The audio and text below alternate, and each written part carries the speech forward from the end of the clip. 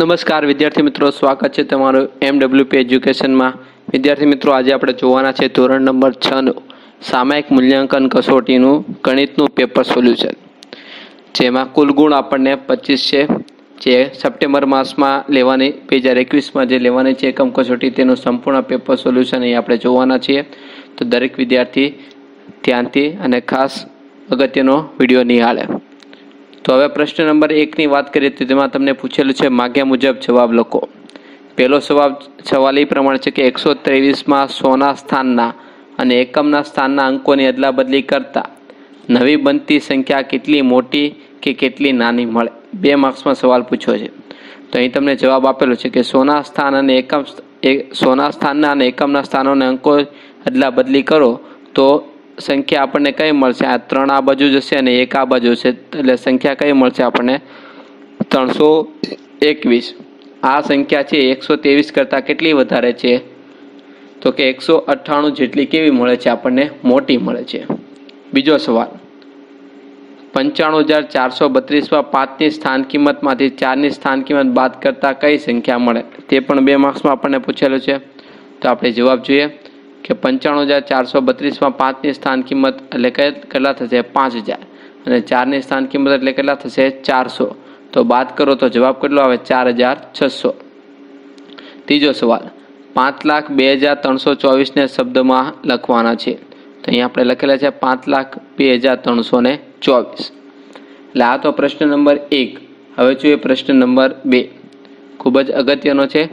પ્રશ્ન નંબર બેમાં પહેલું કીધું છે કે યોગ્ય રીતે ગોઠવીને ગુણાકાર કરવાનો છે. ચાર ગુણ્યા એકસો એક હજાર આઠસો ત્રેપન ગુણ્યા પચીસ આપણે કરવાનો. બે માર્ક્સનો સવાલ આપણને પૂછ્યો છે.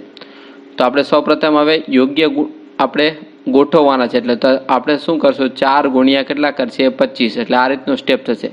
ચાર ગુણ્યા પચીસ ગુણ્યા અઢારસો ત્રેપન. તો પચીસ ચોક કેટલા થાય? સો. એટલે સો ગુણ્યા અઢારસો ત્રેપન. એટલે કેટલા થશે? એક લાખ પંચ્યાસી હજાર ત્રણસો. બીજો સવાલ તમને એમ પૂછ્યો કે રમેશભાઈએ તેના ટ્રકમાં સોમવારે સાઠ લીટર, મંગળવારે ચાલીસ લીટર ડીઝલ પુરાવ્યું. જો ડીઝલની કુલ કિંમત કેટલી છે? સોરી ડીઝલની કિંમત આપણને આપે છે પંચ્યાસી રૂપિયા પ્રતિ લીટર હોય તો ડીઝલ માટે કેટલો ખર્ચ થયો? તો પહેલાં તો એને કેટલું ડીઝલ ફેરવ એટલે આપણે લખીએ, કુલ કેટલું ડીઝલ એને યુઝ કરેલું છે? તો સાઠ પ્લસ ચાલીસ એટલે કેટલું ડીઝલ આવશે? સો લીટર ડીઝલ એણે યુઝ કરેલું છે. સો લીટર. હવે આપણે પદ લખીએ કે એક લીટરના ડીઝલના પંચ્યાસી રૂપિયા છે. સો લીટરના કેટલા? સો ગુણ્યા પંચ્યાસી એટલે કેટલા થશે? આઠ હજાર પાંચસો રૂપિયા. તો રમેશભાઈ, ડીઝલનો કુલ કેટલા? આઠ હજાર પાંચસો રૂપિયા ખર્ચ આવે છે. ચલો, પ્રશ્ન નંબર ત્રણ હવે જોઈએ. માગ્યા મુજબ ગણતરી કરવાનું છે. એમાં પહેલું છે, સાત એ કઈ બે સંખ્યાઓનો સામાન્ય અવયવ છે. તો કે ચૌદ અને એકવીસ આ બંનેની અંદર સાત એ સામાન્ય અવયવ આવે છે. બીજું જોઈએ, વીસ અને પચીસના સામાન્ય અવયવ કયા? તો વીસના અવયવ આપણે પાડીએ તો બે ગુણ્યા બે ગુણ્યા પાંચ. પચીસના અવયવ થશે પાંચ ગુણ્યા પાંચ. તેને બંનેમાં કોમન અવયવ કેટલો આવે છે પાંચ. અને સામાન્ય અવયવ કેટલો થયો? પાંચ. ત્રીજો સવાલ, ત્રણે પાંચના પ્રથમ ત્રણ સામાન્ય અવયવી લખવાના છે. તો ત્રણ, છ, નવ, બાર. પાંચ, દસ, પંદર, વીસ. એટલે આ આપણને અવયવ લખેલા છે. તો બંનેમાં આના પછી કયા આવશે? પંદર આવશે. એટલે પહેલો સામાન્ય અવયવ કેટલો થશે? પંદર. પછી બીજો સામાન્ય અવયવ બંનેમાં કયો આવે? ત્રીસ આવે. અને ત્રીજો કયો આવશે? પિસ્તાલીસ. આ ત્રણ તમારા જવાબ થશે. પંદર, ત્રીસ અને પિસ્તાલીસ. ચલો, પ્રશ્ન નંબર ચાર જોઈએ હવે વિદ્યાર્થી મિત્રો. પહેલો સવાલ એમ કીધું છે કે ચાલીસ અને સાહીઠનો લસા મેળવવો છે, બે માર્ક્સમાં છે. તો કે ચાલીસના ભાગ પડી આપણે? એટલે આ રીતે એના ભાગ પડશે. અવયવ કેટલા પડ્યા ચાલીસ બરાબર બે ગુણ્યા બે ગુણ્યા પાંચ. સાહીઠને આપણે અવયવ પાડીએ તો બે ગુણ્યા બે ગુણ્યા ત્રણ પાંચ. તો હવે લસા મેળવવાનો છે એટલે બંનેમાં કોમન આવતી હોય તે બે ગુણ્યા બે ગુણ્યા બે ગુણ્યા ત્રણ ગુણ્યા પાંચ. એટલે જવાબ કેટલો થશે? એકસો ને વીસ. પછી પ્રશ્ન નંબર બે. ત્રણ અંકની સૌથી નાની સંખ્યા કઈ મળે છે? બાર, અઢાર અને ચોવીસથી વિભાજ્ય હોય. તો આપણે આ ત્રણે ત્રણનો શું લઈ લઈએ? આપણે લસા લઈ લઈએ.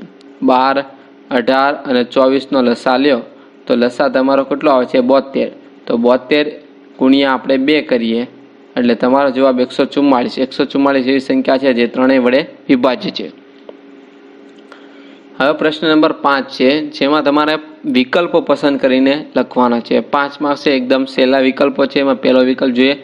સૌથી ઓછી બાજુ ધરાવતો બહુકોણ કયો? પંચકોણ, લંબચોરસ, ચોરસ કે ત્રિકોણ? તો જવાબ આવે ત્રિકોણ.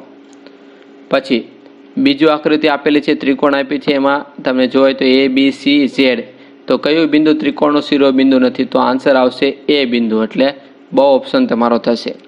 ત્રીજોમાં પણ તમને ત્રિકોણ આપ્યા છે. એમાં એક્સ વાય ઝેડ ડબલ્યુ કયું બિંદુ ત્રિકોણ પરનું બિંદુ નથી? કયું બિંદુ ત્રિકોણમાં નથી આવેલું? તો કે એક્સ બિંદુ એટલે તમારો થશે એ ઓપ્શન એના પછી ચોથું. અહીં એ બી સી અને બી સી ડીમાં કોમન શિરોબિંદુ કયું છે? તો બ ઓપ્શન તમારો થશે બી અને સી બંનેમાં સામાન્ય શિરોબિંદુ આવે છે.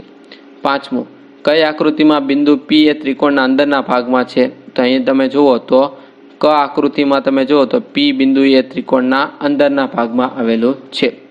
તો વિદ્યાર્થી મિત્રો, આ હતું આપણે ધોરણ નંબર છનું ગણિતનું પેપર સોલ્યુશન. તેમજ હવે બીજા ધોરણ છના તેમજ સાતમા આઠમાના અને ત્રમ તમામ ધોરણના એકમ કસોટીના પેપર સોલ્યુશન મેળવવા માટે અમારી યુટ્યુબ ચેનલને આજે સબસ્ક્રાઈબ કરો લાઇક કરો, તમારા ફ્રેન્ડ સર્કલમાં શેર કરો. Thank you